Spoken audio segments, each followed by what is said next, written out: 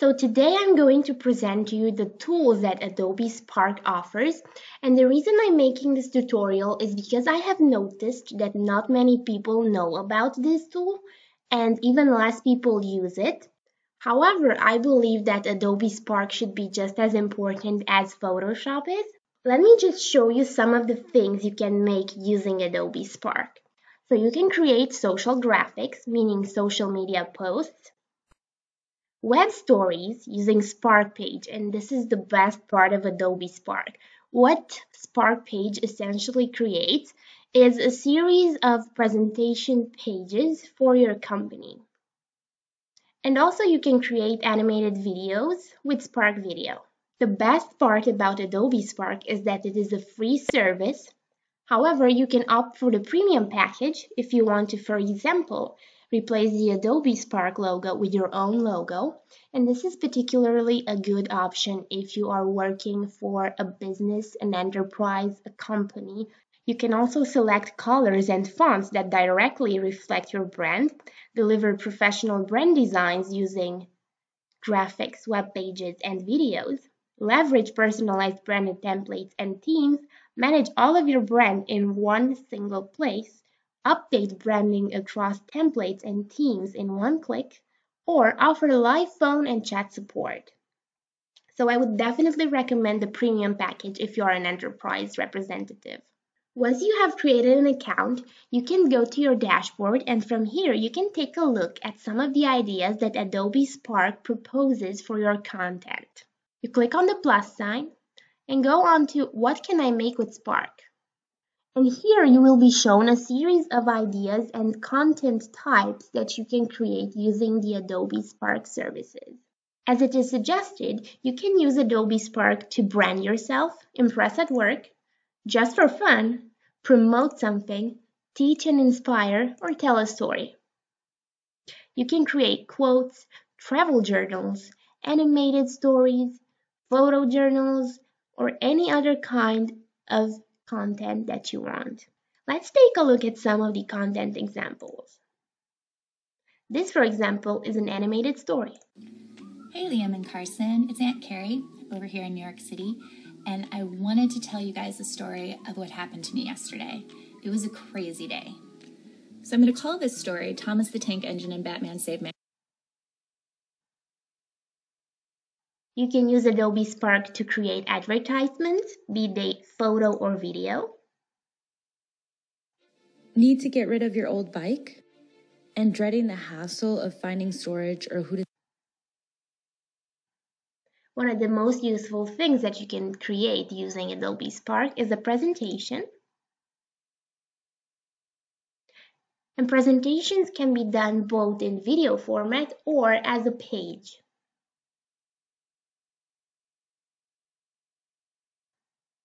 You can also create newsletters.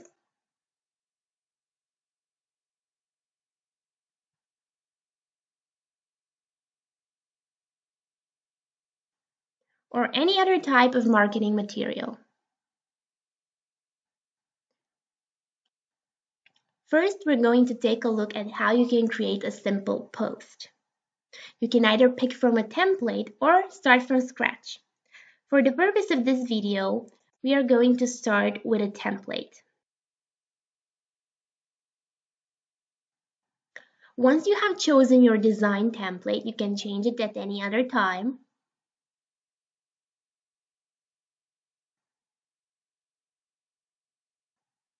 You can remove the logo once. Or if you have a premium account, add your own logo. Next, you can start editing your post by adding photos. It is always best to take your own photos or to create your own graphics, but in case you are creating a personal project, you can also use the Find Photos function. You can select the picture and if you click on it, you will notice that Adobe Spark will automatically place the photo on the background of your picture. From here, you can also filter and edit the photo that you have chosen. Or you can choose a color if you would prefer a solid color as your background. And you can also go and choose another picture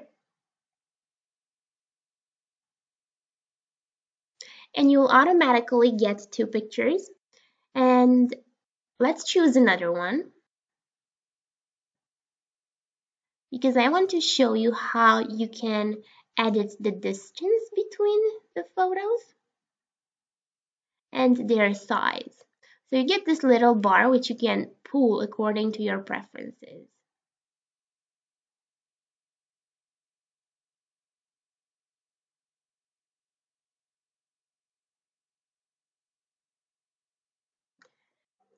And from here, you can either edit each photo individually or click apply to all and then choose the filter. What you'll notice is that if you click more than once on a single filter, you will get different shades of that filter. I must tell you that there is no undo feature, so whatever you do is kind of definite and you cannot change it. Next, we are going to add some text. You just type in the text that you want. And Adobe Spark offers a style suggestions tool. So you just spin it around and you do get your recommendations for what will look best on your post. One of the coolest things is that you can play with the shape of your text, meaning that you can add some background or place anything behind the actual text.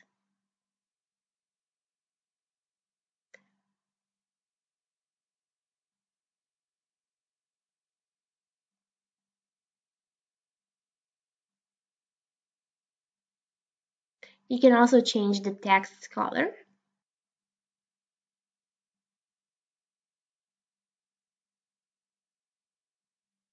The font. The spacing between the letters. And for this, we're going to take a better look at this text to see just how spacing works. You do not have much control regarding spacing, but this is why Adobe Spark is so special that you get some preset styles that should work for your post. And you can also play with the alignment or with the transparency of your text.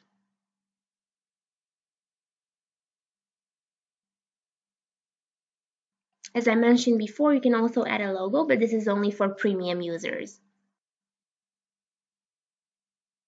A very nifty tool is the palette tool.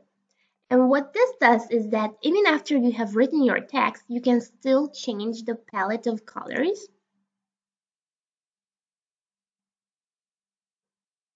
And you can even adjust it.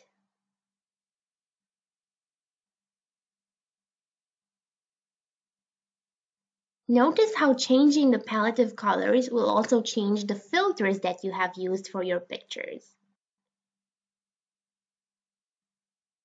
Remember to always click on Done. You can always go back to your original palette. One last thing about designing posts using Spark is the layout. You'll notice that the Magic Layout option is checked, and what Magic Layout does is that it moves your text as you explore the layouts. For example, if you add borders, the text will move along with the pictures. Same for spacing.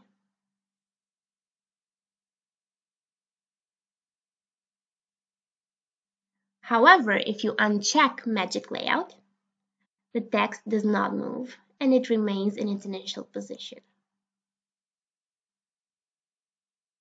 This is where your original layout will show, but you can always change the photos and the way in which they display according to a grid.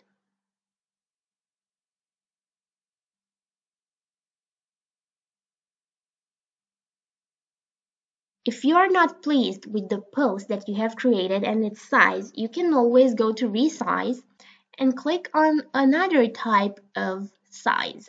For example, you can create an Instagram post, a Pinterest post, a Facebook ad, an Instagram story. And you'll notice that what Adobe Spark does is that it moves your text according to the size that you have chosen and you can also edit it again.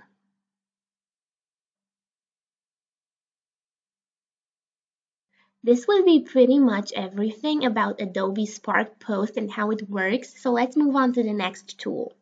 Before creating an Adobe page, I would like us to take a look at an example of an already made post, such as this one. And in this case, we have a photo journal.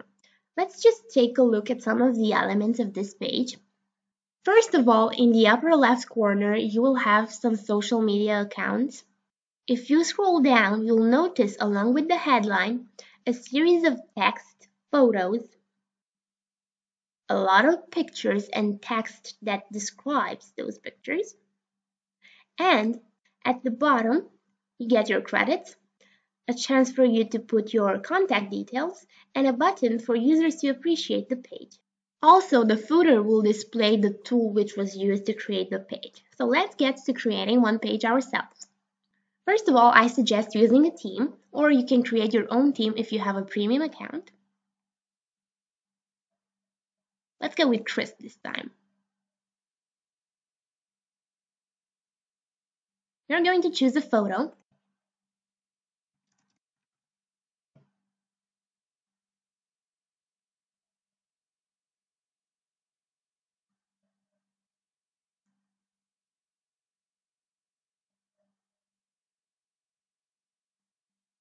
Add a title,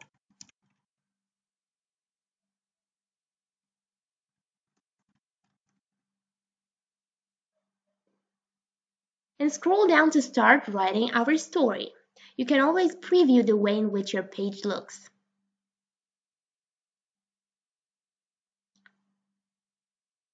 You can either start by adding a photo, so another photo, And you will notice that you have a series of options from which you can choose if you want to perhaps place it differently on the page.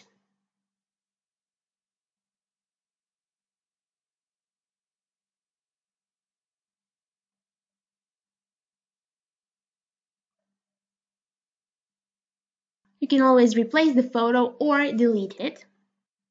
Then you can add captions to your photo.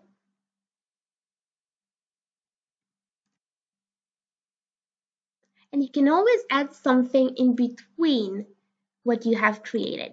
Now we're going to move on to writing some text. It is always better to write the text yourself just because you have more control over the way it shows rather than pasting it from another place. And you can also play with the formatting of the text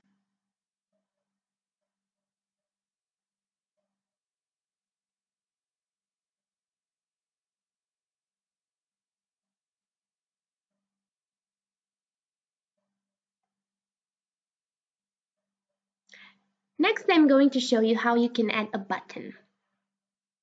You can add a button, for example, to a link, to a social media website, or to a landing page. And you can choose where you want to place that button, and it's exactly where it will show.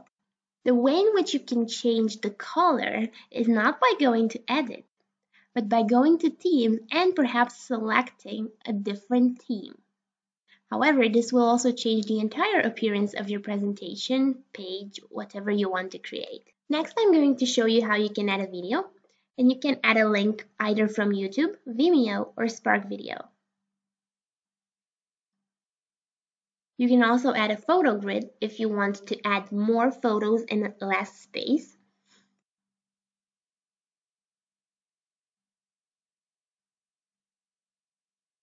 And then you can play with the position of the pictures or make one of the pictures bigger than the other or replace them.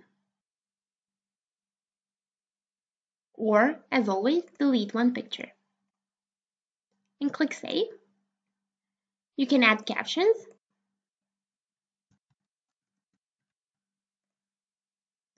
Then you can add a glide show. What the glide show is, it is essentially a slideshow. However, you will see that the pictures that you choose will show one below the other. You can also move their position. Click on save and you'll see that for each picture you can also add photos, text, a button or a video separately.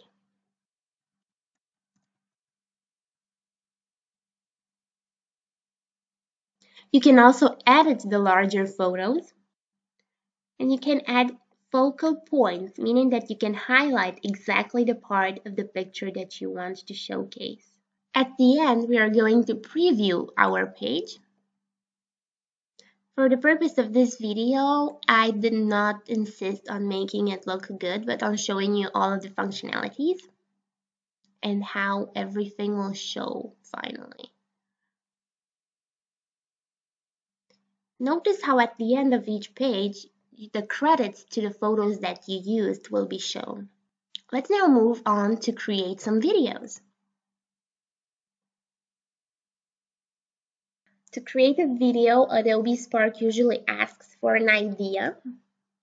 Again, we're going to make a video about flowers. And pick a template. You will be shown some tips, or you can just skip this part. Now you will have to choose between some types of layouts that you would prefer. You can choose between the full screen layout, which is just a simple video, the split screen layout, for two images at the same time. You can add captions to your video, meaning that you can write some text, or a simple title and text video. For now, I'm going to create a title and text video.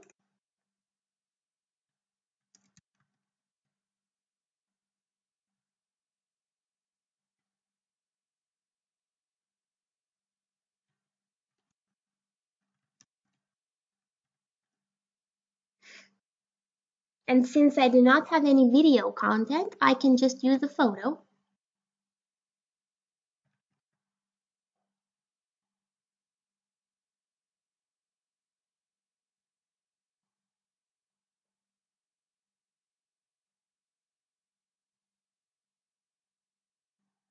Then we'll move on to the next slide. And this time I'm going to add a photo.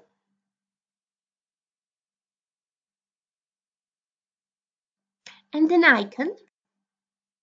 And I'm going to create another slide. And add some text.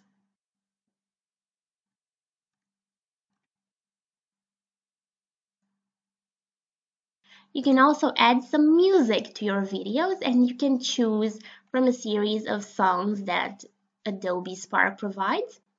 Or you can add your own music or you can turn the music off. And you can even adjust the volume of your songs. As with your posts, you can choose between a series of themes that would match your brand. And we can now preview the video.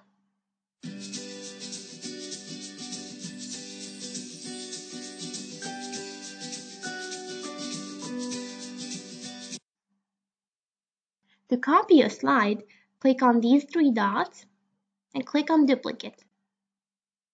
You can also decide whether you want a specific slide to show quicker or slower than the others. Then you can always delete a slide. Adobe Spark will suggest what you should write on each slide and even at the end of the video, you will get to write your own credits. Or any text that you want. Also, the last slide will be an outro, which shows that you have created the video using Adobe Spark. Again, if you upgrade your account, you will be able to remove this. One last thing I have to repeat is that you do not have an undo or redo button. So whatever you do is the final version unless you go back and repeat again what you have created before. Now we can preview the video.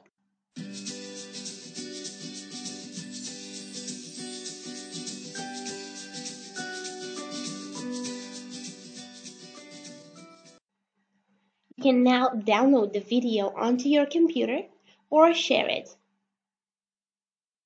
This would be about all about the Adobe Spark tool. If you have any questions, don't hesitate to ask me and have a nice day.